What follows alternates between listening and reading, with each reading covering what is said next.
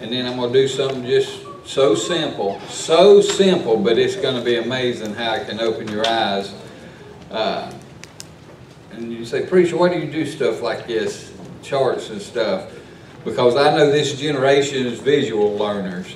This generation was brought up on television, and uh, uh, the older generation was brought up on uh, radio and books. They have a mind and can see and can picture in their head what you're talking about. But this new generation, the younger kids, they brought up on TV, and without picture, they just don't seem to get it. And I'm one of those. Amen. I have to have a picture. You draw me a picture, and it is truly worth a thousand words. Uh, once I see the big picture, then I can grasp what you're trying to tell me. And that's what I'm doing today is I'm giving you the Old Testament, the big picture. The Old Testament, this is the introduction to the Old Testament. I've taught it here before, but I'm going to go through it again and I'm going to uh, show you some things that'll be a blessing. There's no way I'm going to be able to cover it as detailed as I would like to, or even as detailed as some of the charts that I've drawn. But if you'll get this, and after it's over with, if you want to come up here and take a picture over your phone, then that way you've got it. That at, at whatever you want to do, draw it, whatever you want to do. Okay. All right. Deuteronomy should be there, chapter eight. Deuteronomy chapter eight. And let's look at uh, one verse. Deuteronomy 8, verse 3. And he humbled thee, and suffered thee to hunger, and fed thee with manna, which thou knewest not, neither did thy fathers know, that he might make thee know that man doth not live by bread, bread only, but by every word that proceedeth out of the mouth of the Lord doth man live. Now, if you go to Matthew 4 4, I'm not going to make you turn there, but Matthew 4 4 and also in Luke 4 4, Jesus quotes that verse. Jesus is Jesus said, Man shall not live by bread alone, but by every word that proceedeth out of the mouth of God. Job esteemed God's word more than his necessary food. Talking about physical food. He, he, that's how important the word of God was to them. Now, I bring that up to point out something that Jesus over in the New Testament quotes the Old Testament. Because today, when people read, all they want to read is the New Testament. Well, preacher, we're in the New Testament. We're not under the law anymore. The Old Testament is referred to a lot of times as the law, and the New Testament is referred to as grace. Because Jesus died, we're under grace. We're no longer bound by the law. We're no longer under that law. But know this there's a lot of wisdom in there you're forsaking if you neglect to read that Old Testament. If you neglect this ringing, boy, I mean, it's like, he's still in control. Amen. But anyway, uh, let's keep going because I got a lot of ground to cover. Sometimes people get get get all out of whack, but there's nothing in that Bible that He does not want us to read. It's there for us. Think about it. 6,000 years and what God wants us to know is in one book. Every word's going to be precious. Every word ought to be treated as valuable and a necessity. We ought not just skip it because it's got a list of genealogy in it. Chronicles, if you know what I'm talking about. And you get into Genesis and you hit some of them Chronicles and you get into some of those lists of names and you're sitting there, peanut butter, we got wheelbarrow, we got so-and-so. I mean, you just, you just, you, you just giving them all kinds of names and just trying to remember who, you call them the same thing twice, amen. It's, but anyway, what I'm going to do is I'm going to run you through it and hopefully give you a picture that you won't forget and it'll be a blessing. But before we get to this chart, I want to do something very simple. Take your Bible and turn to the very beginning where it says table of contents, where it has the list, Genesis, Exodus, Leviticus, Numbers, where it gives you the list of Bible books and the page number on how to find it. Now some of y'all, that's the first time y'all seen that. Amen. I, I, mean, when I say turn to, if you don't know where it is, there's nothing wrong with looking at that list and finding what page number to turn to. And the reason I say that is because when I, I didn't get saved, I was 22 years old. And when I was 22 years old and they said turn to the book of uh, Job, I was still looking for it an hour later. My, mine didn't have Job. I didn't even know how to spell Job. I looked at Job, J-O-B. You know, I mean, I was seriously, I was that ignorant. I was that ignorant of what the Bible had and what I had to say. So, so I'm going to try to help you. And what I'm going to do is I'm going to give you an outline. And if you will, I didn't do it in mine. I didn't do it in mine. Uh, but you can in yours if you want to. Mark on that, and, and I'm going to give you uh, an outline of the Old Testament that'll help you remember something. Uh, I want to give you a basic introduction and make you familiar with the arrangement as well. So in the future, if I ever say turn to the book of Joel, you'll know exactly which section to turn to. You'll know automatically, without even thinking, you know where that's at. Okay? Now here's the outline. The first point is the only hard point, and the only reason it's hard is because I've given you the proper name. Uh, right there, beside Genesis, Exodus, Leviticus, Numbers, and Deuteronomy, the first five books, that is the Pentateuch. The Pentateuch. And that is a Greek word that they put on it, and that word simply means five books. Penta is the it's Greek for five, like a pentagon's a five-sided building. A pentagram's a five-pointed star. Uh, so Pentateuch, Tuch meaning book, five book, five volume book. Moses wrote Genesis, Exodus, Leviticus, Numbers, and Deuteronomy. So right beside there, put just draw a line above Genesis and put Pentateuch, and then and then under Deuteronomy, draw another line. Those first five books is called the Pentateuch. Now watch what's in the Pentateuch. Uh, in Genesis, right beside the word Genesis in your Bible. Just I'm looking for one word that'll help you realize what's in each one of those books.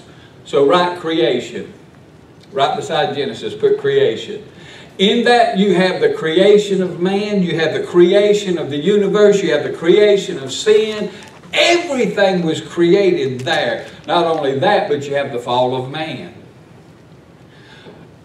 you have the fall of man, his subsequent sin, and, and, and goes on into the flood, the destruction of man. You have the spread of man across the globe. All that is in Genesis. You have the creation. Then in Exodus, put calling out. At the end of Genesis, God has called Abraham eh, in the book of Genesis, and he deals with that family through most of the book of Genesis. 70 go into Egypt and they wind up in bondage, in servitude, in slavery down there in Egypt. And God calls them out in the book of Exodus. That's where you get the Pharaoh story, where Moses comes in before Pharaoh and says, Let my people go. And that's the Exodus. Exodus, think about it. Exodus, where we get our word exit from. They're to leave Egypt. Amen? So Exodus. So that kind of gives you an idea of what's going on there. Then in Leviticus, you have the commands. Now, many people think that uh, Exodus is the book with the commands because in Exodus chapter 20, uh, Moses goes up into Mount Sinai there for 40 days and gets the Ten Commandments. But the, and he does, he gets the Ten Commandments. But that's only 10.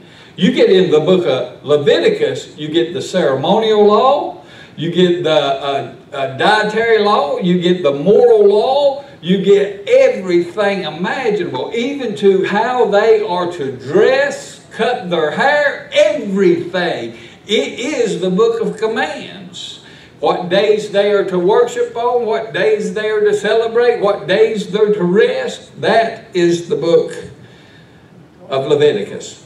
Then in Numbers, you see they are counted. They begin to count the 12 tribes, the 12 tribes of Israel. Because if you remember, in Genesis, God calls out Abraham in Genesis 12 and promises him some land. He says he's going to give us some land. And that's what's going on over there in the Middle East right now. That, that going on in the Middle East is nothing more than a family feud. That fighting over Israel God gave that to Abraham. And Abraham, he said, is to pass it on to Isaac, his promised son. There's a bunch of Ishmaelites over there wanting it, those Arabs. They're from they're descendants of his illegitimate child that God rejected. He said, he said it's not going to be Ishmael, it's going to be Isaac. But anyway, let me get going here. I'm going to run out of time. I want to don't want to get bogged down in too much. Uh, but in Numbers, they start counting, and you start seeing the size of this nation of Israel. He starts numbering the, the tribes there. Then in Deuteronomy, beside Deuteronomy, write the word charge. Moses sinned and he smote the rock twice. And God said, because you smoked the rock twice, you're not going to get to go into the promised land. And Moses dies without getting to enter in and see the promised land. But before he dies, he, he preaches one more sermon to the children of Israel. That's the book of Deuteronomy. He charges them before they enter in. Because right after that, look at, look at your context there, your contents, and see what it says. It says Joshua, don't it? Joshua is the one who gets to lead them in. Now we are entering the second section. This section has 12 books. First five is Moses. Then the next 12, now you'll remember this. You think you won't, but you'll remember this. The next 12 books are Israel's history. How many tribes are there? 12. How many historical books? 12. You think you wouldn't remember that, but that statement will stick. That'll make that stick in your head now because you'll think, well, there's 12 tribes, so there's 12 historical books that tells us of, of their history. And, and now, number two, in your little outline, first you had the Pentateuch. This time, number two, put the past. The past. And we're going to deal with each of these books just real quickly. I'll give you an outline. Uh, of them the same as I did. Under Joshua, put the word conquering. Conquering. Why? Because Joshua led them into the promised land and they were squatters in the land. Much like still going on today over there. They got squatters in the land. And when they try to expel them, the rest of the world pitches a fit and, and tries to tell them, no, give them land for peace, and it ain't going to work. It ain't going to work. God gave it to the, to the Jew. It's theirs.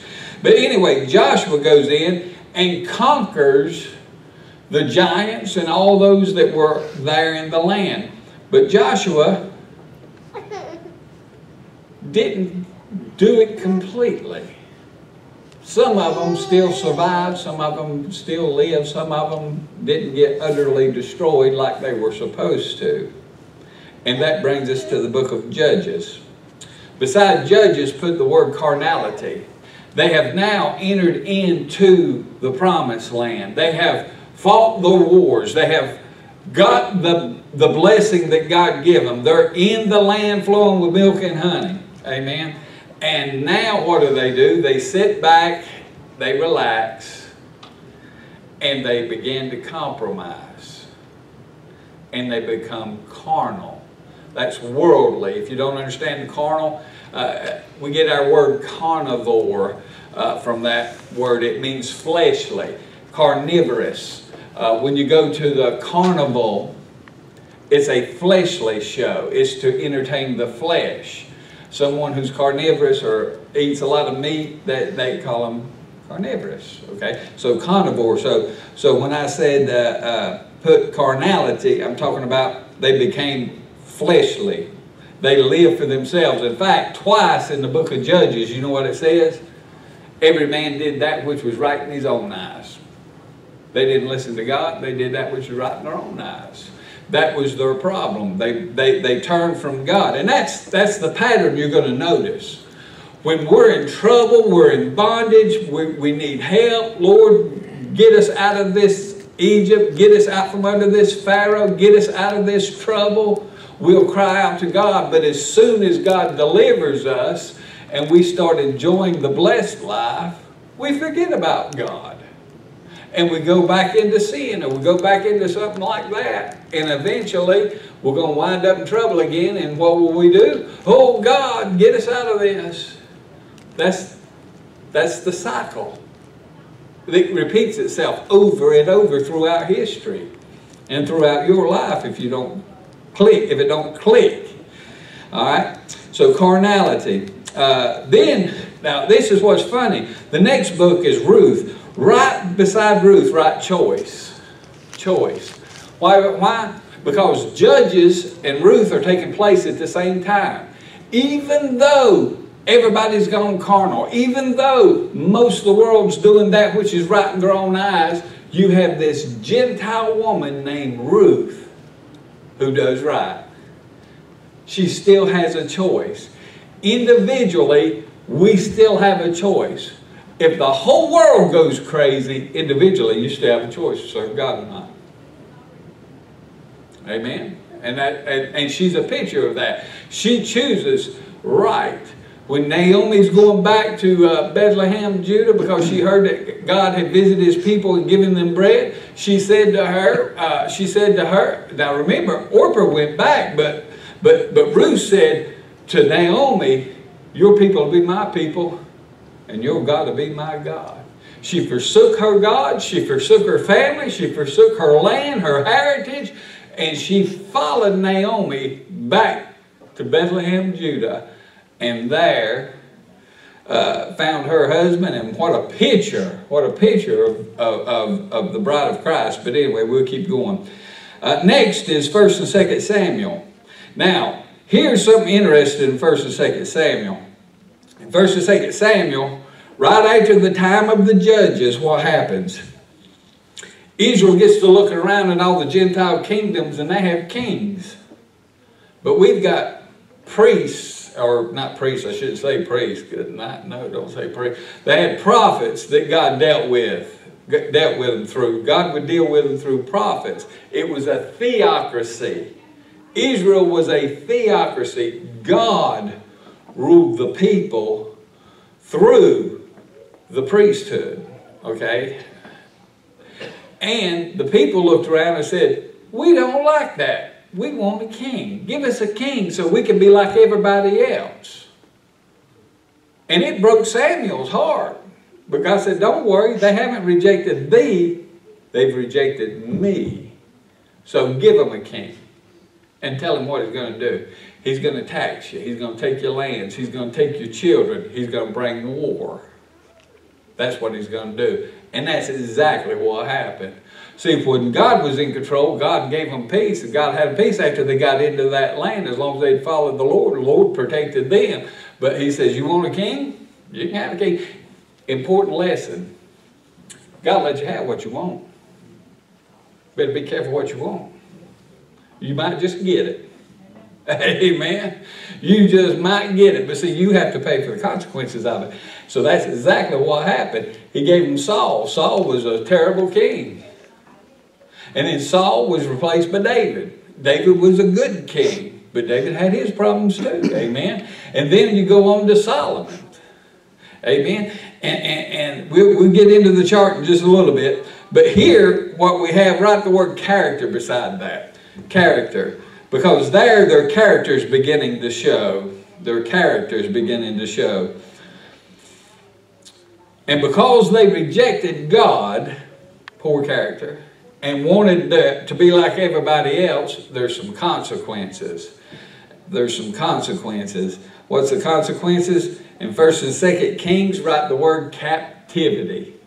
Captivity. Uh, God allows them to go into captivity. They're, they're always warring and fighting. There's always trouble when, when a nation rejects God, when a nation rejects His authority, when a nation rejects His word, when a nation will not respond to Him, He will let their enemies come in and take them over. Over and over and over, we see that in the Old Testament. That ought to scare the far out of you. Because what has America done? The exact same thing. We kicked him out of our school. We don't want him in our anthem. We don't want him anywhere but in here. You can't preach in the streets much without getting in trouble. In Canada, they're, they're already arresting people that preach. You let this gay pride filth come in marching and you let a bunch of street preachers go out there, they can be committing lewd acts in the street in front of your children. But me stand there with the Bible and hold it up and just say, Thus saith the Lord, and start preaching, they'll arrest me and let them do their thing. We've rejected God. We've rejected God. And what's going to happen? Servitude. It may not be in our lifetime, I hope it's not, or in our children or grandchildren's lifetime. But it's coming. It's coming. Uh, I give you interesting. Now this is this is for the adults here. This shouldn't even I shouldn't even say this, but I give you interesting study. Who owns our national parks? Who owns them? They've got signs at the park, and they let you know who owns them.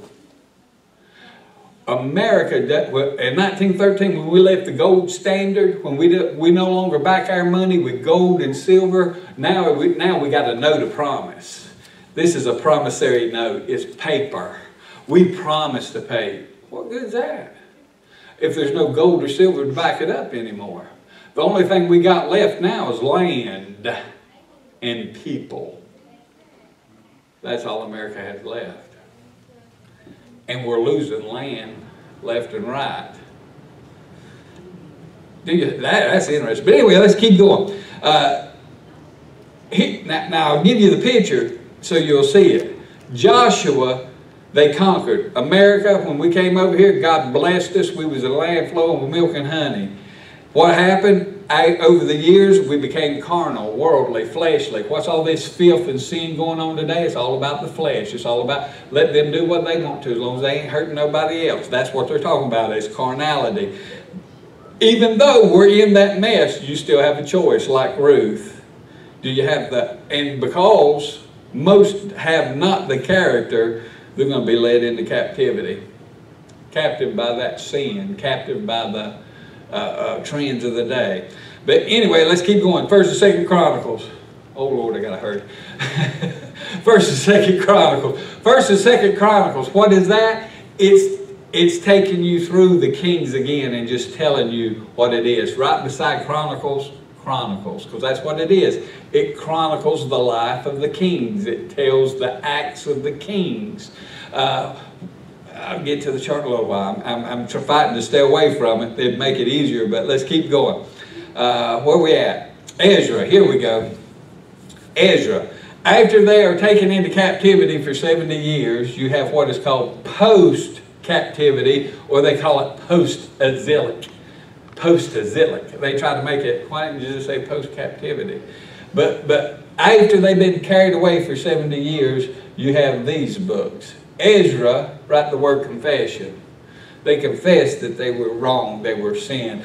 And Nehemiah put construction. They began to rebuild the walls and, and, and, and get everything going again. Uh, then, and then write the word conspiracy beside Esther. You like a good suspense movie, man, they ain't nothing better than Esther. Amen. You got a villain who's scheming and then you got, uh, a, I mean, it, it, it's good stuff when you get a hold of it. I mean, people like watching this stuff. But Hollywood steals from the Bible all the time. I've showed you that over and over. Uh, but anyway, there's 12 historical books, God dealing with his people, the 12, the 12 Jews. Now, number three in your outline is going to be the next, watch it, five books.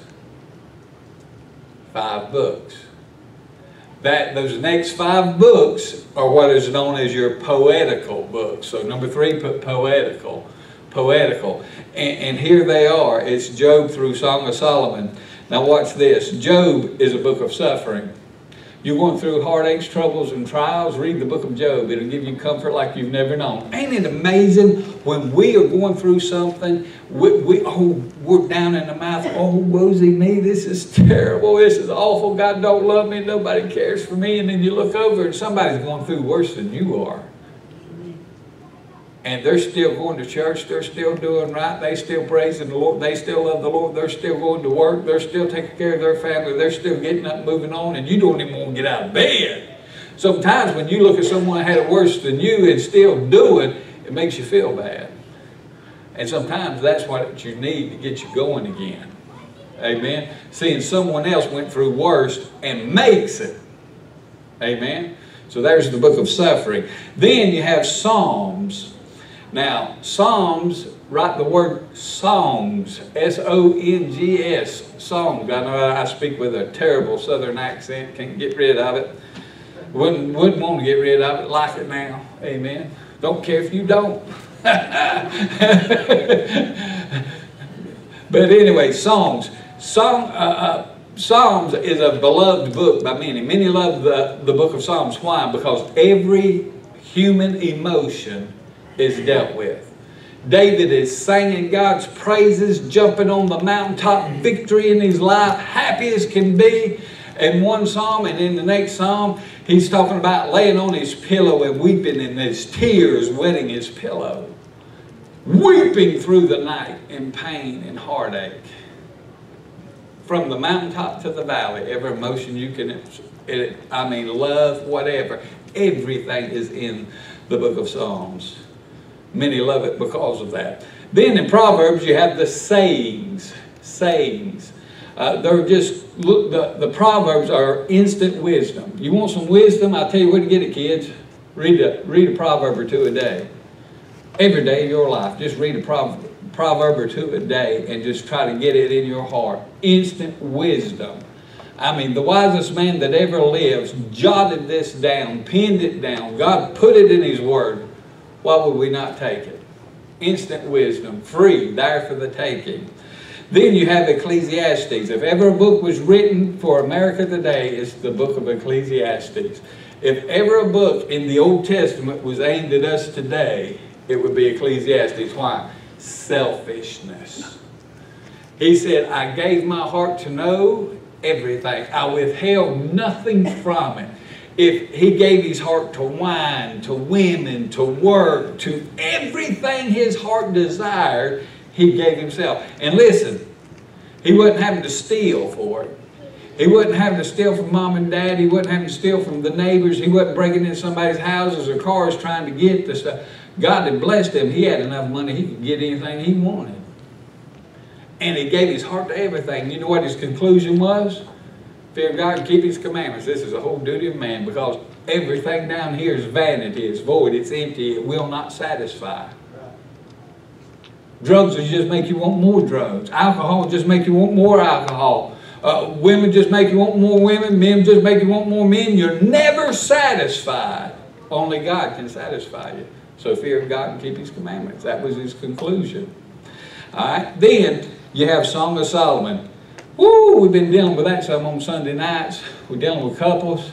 There's your love story right there, Song of Solomon. He kisses me with the kisses of his mouth. That's showing how close an intimate relationship and fellowship you could have with the Lord because we are the bride of Christ. And that's what that's a picture of. Now we're moving on uh, to the prophets. Uh, I'm running out of time quickly, so I might have to speed up just a little bit here. Uh, number four in your outlines, the prophets. And guess what? The prophets are, are going to take you from Isaiah all the way through Malachi. But watch, they break up into two sections. They have what is called the major prophets and the minor prophets. And watch the breakdown. Five in 12. There's five major prophets, and, they are right there, Isaiah through Daniel. And then there are 12 minor prophets. That's Hosea through Malachi. Now, if you'll look at that, uh, now I will tell you the difference between a major and a minor prophet. A major prophet is called a major prophet not because of the content is more important, but because of the size of the book. Look how big the book of Isaiah is. 66 chapters, that's a pretty big book. And then you get into Obadiah, one chapter. That's why it's called a major and minor prophets. Not because of the content, but because of the size of the books, why they're called that. Uh, they should really not call them that, but that's what they're known by. Now, do you know what I've just give you? I've give you an outline basically of the entire Old Testament. I'm going to run you through again with this chart and show you something that hopefully will help you. But here's something to think about. Now, if you've listened and you thought about what I've said, I could say to you, turn to the book of Joel, and you would automatically know it's right before the Old, right before the Old Testament closes in the minor prophets. If I said turn to uh, Daniel, well, wait a minute, Daniel's one of the major prophets. Well, so that, that, that, that's a little bit before the minor prophets. So you start figuring out where you should turn, okay? Nehemiah, boy, that used to get people. Esther, it's, that used to get people because they didn't know where they were in the book. Now you know where they're placed. Now what I'm going to do is I'm going to give you the big picture. Genesis, you have Abraham. Now, now watch. In Genesis, you have the creation of everything, the fall of man, and man being uh, covered by the by God and, and, and his death, everything is in the first 12 chapters. Actually, the first three for the fall of man.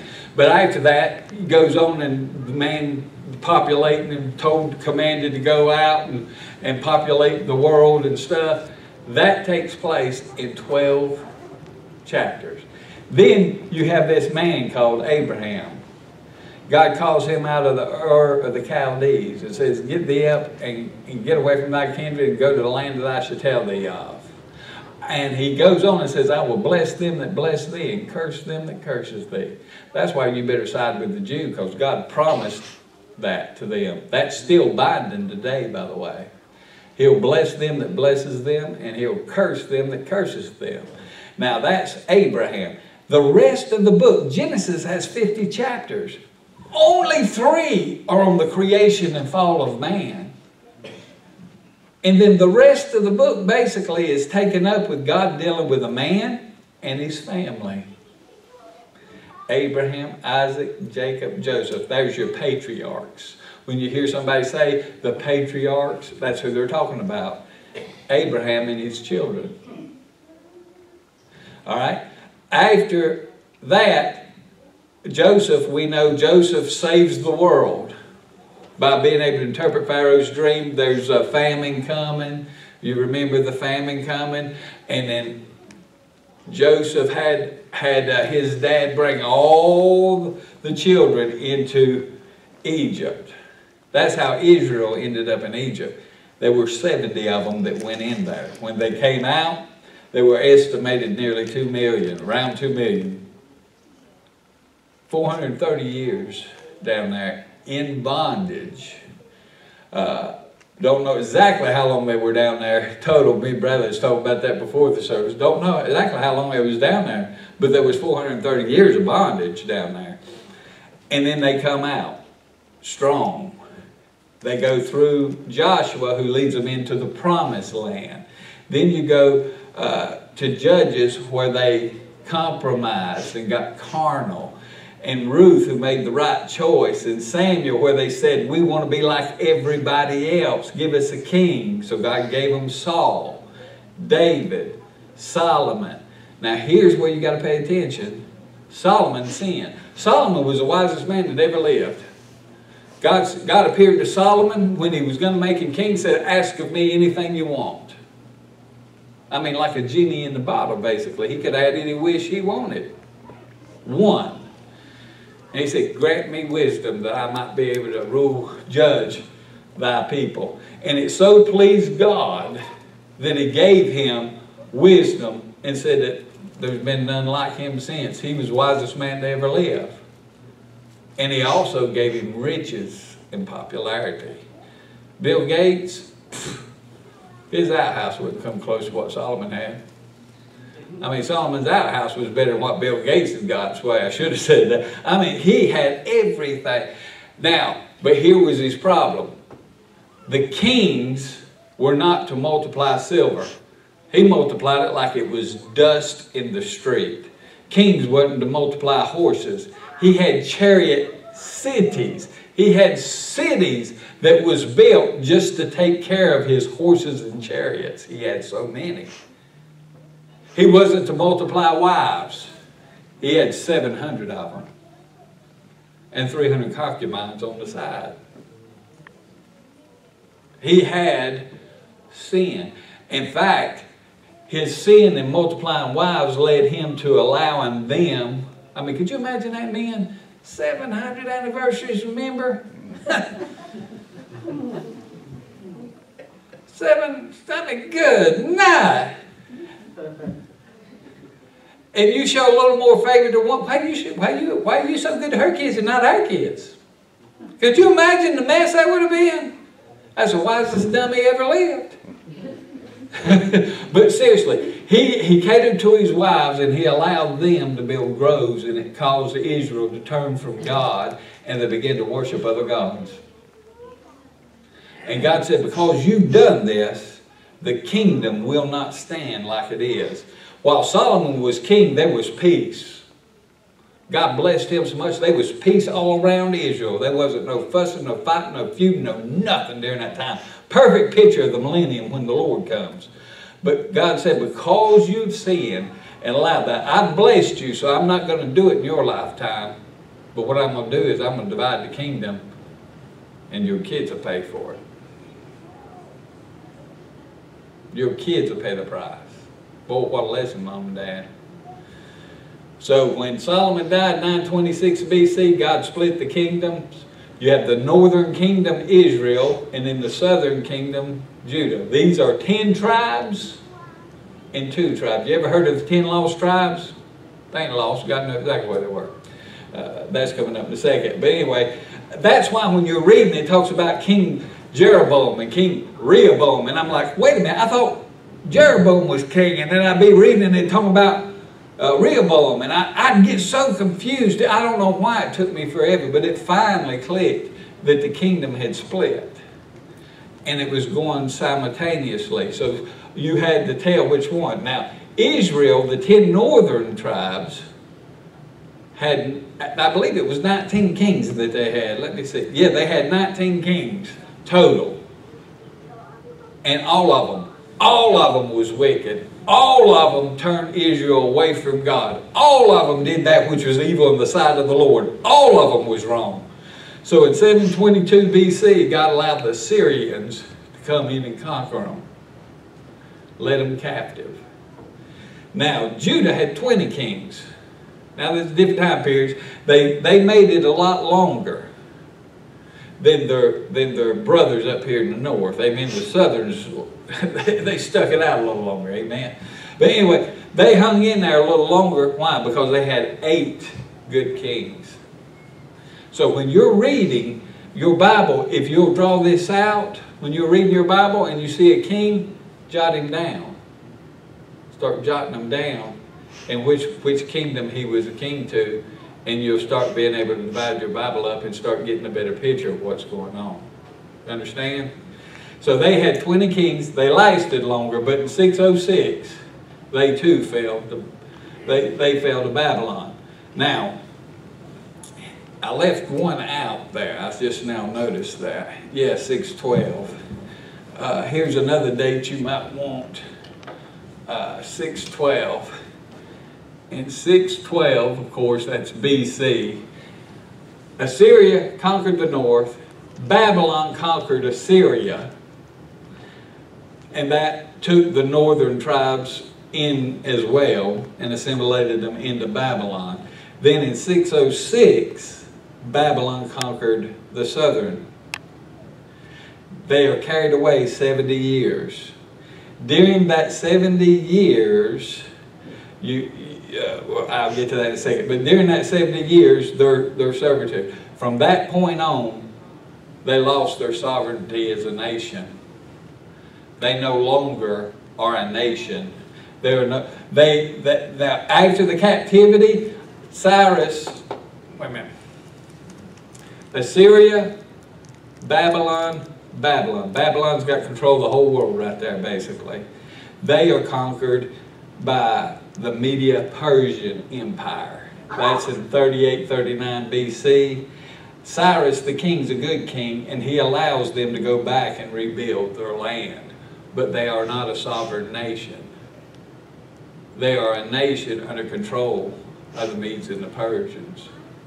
They are allowed. Remember, Nehemiah was a cupbearer to the king, and it wasn't a Jewish king. See, they were servants to another nation. They don't become a sovereign nation again all the way until over here in 1948. That's interesting when you get a hold of it.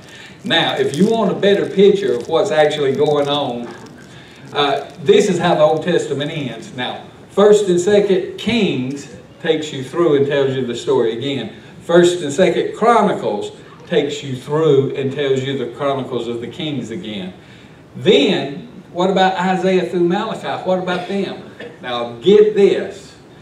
They are telling the same story, but it's not a history story. They're telling the same story and what God was saying during that time. So when you get into that, somebody turn to the book of uh, Hosea. Somebody, Hosea chapter 1, verse 1, and read that to me. Read it out loud. You got it? The word of the Lord that came unto Hosea, the son of Beeri, in the days of Uzziah. God- Okay, that's good. In the days of Hosea, okay. Did you see, it just told you who the king was? In the days of. See, they tell you who they're serving as. So when you write the kings down, when you're reading them, start matching the prophet that went with them, and what you're getting is what God was saying to Israel during that time.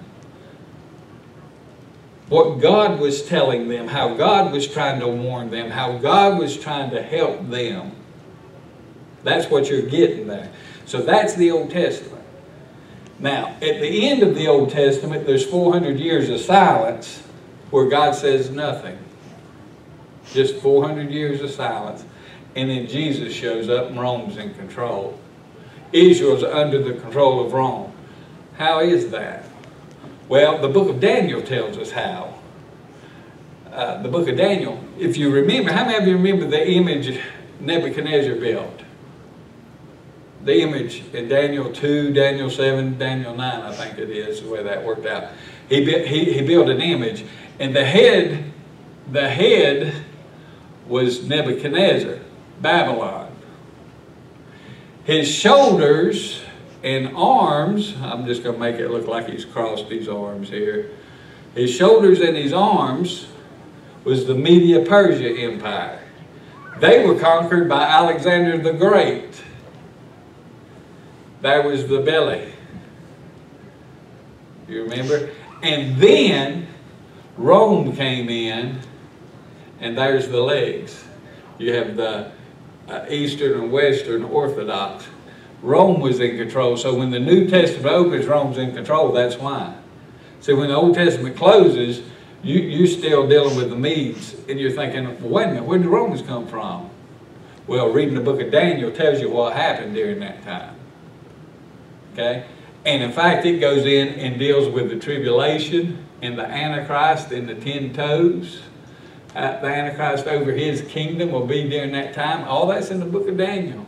See, we're told everything and how it's going to lay out. People talk about well, the Lord coming, the Lord coming. They want to read New Testament verse. I'm going to tell you something. There's more on the second coming of the Lord Jesus Christ than those books than anywhere else. There's more about his second coming in the Old Testament than there is in the New Testament. Why? Because the, God's people was looking for him to come and set up his kingdom. And they kept telling him he's coming, but he kept, he, he's coming, he's coming, he's coming.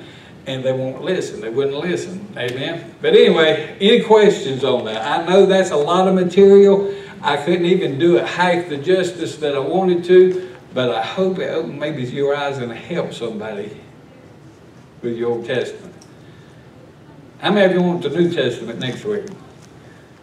Right, we'll do the New Testament like that next week. I'll, I'll draw it out and show you how it lays out. Amen. All right, any questions? Yes, sir. Uh, the dark ages. The Dark Ages. Yeah, with the Dark Ages, what we call the Dark Ages was actually in the church age. Uh, what we call the Dark Ages, it was because of the persecution that came on the early church and stuff. Uh, and, and a lot of the Dark Ages was brought on by the Roman Catholic, the Roman Catholic Church. They were persecuting Bible believers. They persecuted uh, Bible believers as heretics because they didn't believe in their hierarchy and, you know, they didn't you know, you remember Rome, they used to sell, what, what did they call that? I forget what it was, where they go around and sell, uh, like finger bones of John the Baptist. You know, I think they sold like 142 finger bones or something like that. They found that they actually sold his. They had two skulls. One was big and one was little. And they said, what's that about? And they said, well, this one's when he was young, the small one, you know. I, I, indulgences, that's what it was. They would sell indulgences and stuff, and they would sell their prayers and stuff. It was just a bunch of con artist stuff. But anyway, that was the Dark Ages when the Bible was burned and when they tried to hide it from the common people. You don't have to go through a priest to get to God. You can bow your head and go to Him just as good as I can or anybody else. And anybody tries to tell you you got to come to them or come to their church, run from. They're heretic. They're, they're crazy. Amen. All right. I get it? Anybody else? Yes, sir. That was the best thing I've ever heard. That's the best thing you ever heard. All right. I'll, I'll take that. That's the comment out of mouth of babes. Amen. All right. Father, Lord, do thank you and pray, Lord, you just bless. In Jesus' name, amen.